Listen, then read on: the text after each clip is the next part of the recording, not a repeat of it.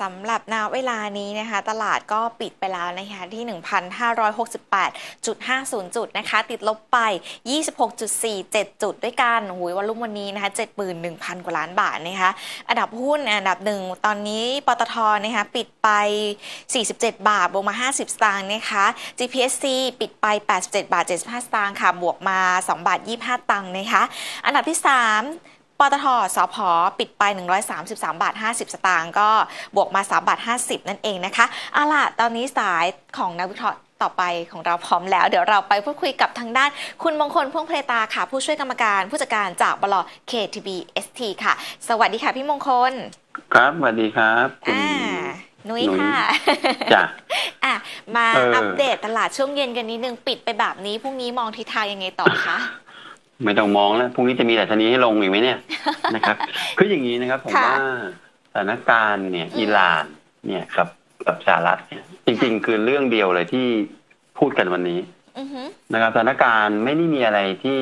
เปลี่ยนแปลงไปค่ะนะครับ ไม่ได้มีอะไรเพิ่มขึ้น ไม่ได้มีอะไรที่ลดลงนะครับ แต่ว่านะครับ แต่หุ้นไทยเนี่ย เรียกว่าลงลงเรียกว่ามาเบอร์ต้นๆเลยของโลก ค่ะอ่านะปกติเราจะไม่ค่อยเห็นหรอกว่าหุ้นไทยกับ ปกติตลาดหุ้นในเอเชียที่ที่ขี้ตกใจมากที่สุดเนี่ยคือตลาดหุ้นญี่ปุ่นนะครับอืมปกติจะเป็นตลาดที่ขี้ตกใจมากอืมวันเนี้ยญี่ปุ่นลงประมาณสักหนึ่งเปอร์เซ็นกว่าหนึ่งจุดเก้าเปอร์เซ็นค่ะเราเนี่ย ปกติอะที่ผมเคยนั่งสังเกตน่ะไทยอะมักจะลงเป็นครึ่งหนึ่งของคนอื่นอืมแต่วันเนี้ย ไทยอะซัดเข้าไป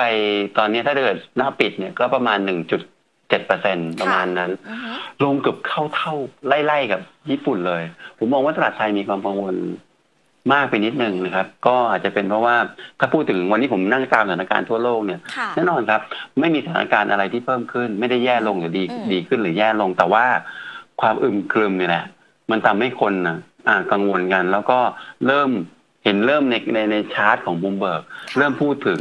อ่าสถานการณ์วันนี้เทียบกับอ่าวเปอร์เซียเมื่อปี 2530 กว่ากว่าๆค่ะนู่นไปนู่นแล้วอืมจริงๆเขายังไม่ทำอะไรกันเลยนะ คือไปนู่นกันแล้วเพราะตรงนี้เนี่ยคนน่ะมันเริ่มมีความอึมครึมกังวลอืมพออึมครึมกังวลนักลงทุนในตลาดส่วนใหญ่แล้วเดี๋ยวนี้เป็นนักเก็งกำไรทั้งนั้นเลยอืมก็จะขายเมื่อ จะขายก่อนเพื่อลดค่ะความเสี่ยงอืมหุ้นหุ้นตลาดที่ขึ้นไปสูงๆเนี่ยอย่างเช่นอเมริกาเนี่ยก็จะขายก่อนเพราะว่า อะไรหุ้นอะไรก็ตามที่เวลามันอยู่ที่สูงมันตกใจง่ายค่ะมันจะขายก่อนเลย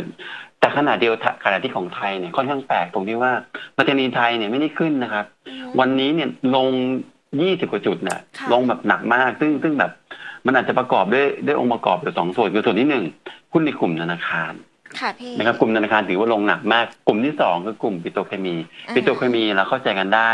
กลุ่มธนาคารก็ อ่า อันนี้อาจจะเป็นเพราะว่าคนเองนั้นเนี่ยอืมอ่าอยากจะขายกลุ่มนี้อยู่แล้วก็ได้เพราะว่ากลุ่มนี้เป็นกลุ่มที่อาภัพค่อนข้างมากในช่วงปีที่ผ่านมานะครับ คือค่ะลงเอาเป็นเอาตายมากในกลุ่มธนาคารนะครับ แล้วก็อืมอาจจะมีข่าวประเด็นหนึ่งที่จุดเข้ามาคือเรื่องของตัว รูมของตัว NVDR ของ KBank เองอะที่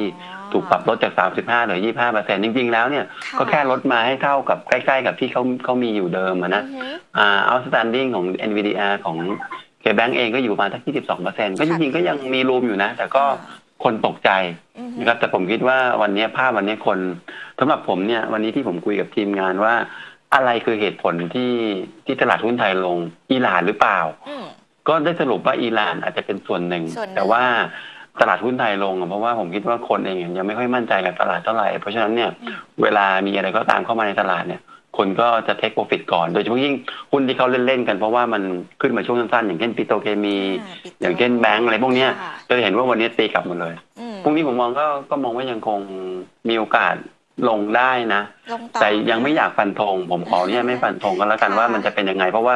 มันก็ขึ้นอยู่กับสถานการณ์คืนนี้ด้วยว่าอ๋อสถานการณ์คืนนี้จะสามารถพลิกผันได้หรือเปล่า ดาวโจนค่ะ future วันนี้ 200 จุดลบนะลบเนี่ย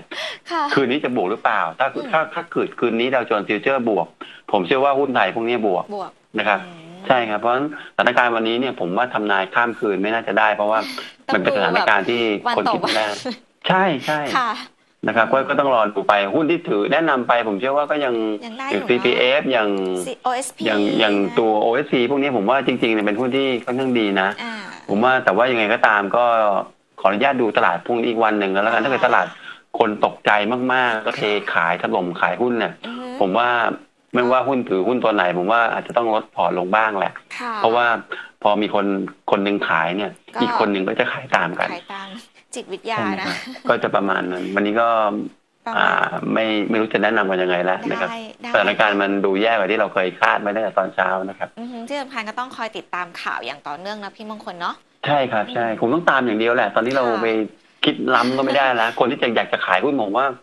บางทีก็จะคิดว่าขายรีบมันขายช้าไปหรือเปล่าอืมอืมอยากให้ตามสถานการณ์ดีกว่าค่ะนะครับเราค่อยว่ากันนะครับได้ค่ะครับ โอเค ขอบคุณมากเลยค่ะ พี่มงคล ครับ สวัสดีครับค่ะอะ ขอบคุณนะคะสำหรับคำแนะนำจากด้านคุณมงคลพ่วงเพรตานะคะ ผู้ช่วยกรรมการผู้จัดการจากบล KTB ST นะคะเมื่อช่วงเช้าพี่มงคลก็ได้มีการพูดคุยกันไปกับพี่ม่อนนะ ในช่วงของหุ้นทิมตา ก็จะมีรายละเอียดอยู่นะคะ สามารถไปฟังย้อนหลังได้นะคะ ทางเพจของ Business Line and Live นั่นเองนะคะ เอาล่ะก็ระหว่างนี้เดี๋ยวเราจะรอ